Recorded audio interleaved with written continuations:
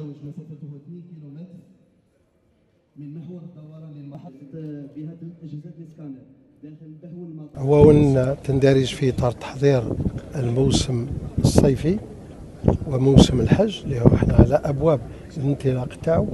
ولهذا وضعنا كل ما ما مطلوب لكي هذه العمليات تنجح يعني بالكيفية المنتظرة.